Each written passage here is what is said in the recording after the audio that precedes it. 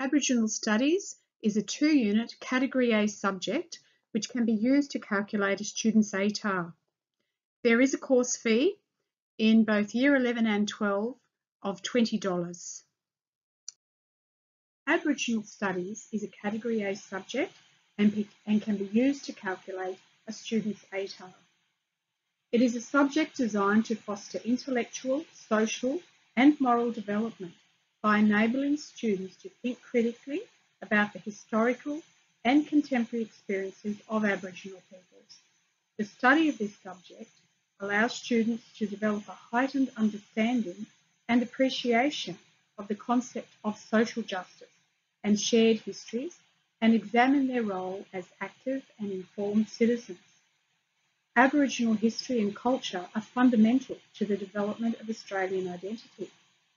Aboriginal Studies acknowledges the contribution of Aboriginal cultures and communities to that Australian society. It is a unique experience for both Aboriginal and non-Aboriginal students. Aboriginal students are provided with the opportunity for cultural affirmation and provide educational experiences for them, while non-Aboriginal students are able to learn together with Aboriginal peoples and communities.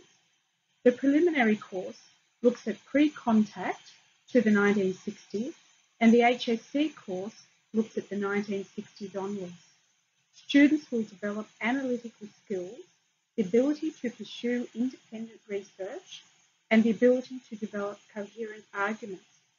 Part of their program is to develop a major work in Year 12 of their choice.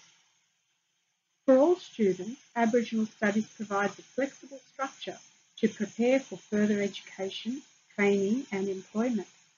As can be seen on the screen, there are many careers that Aboriginal studies can lead to in the future, including those requiring tertiary training and others that do not.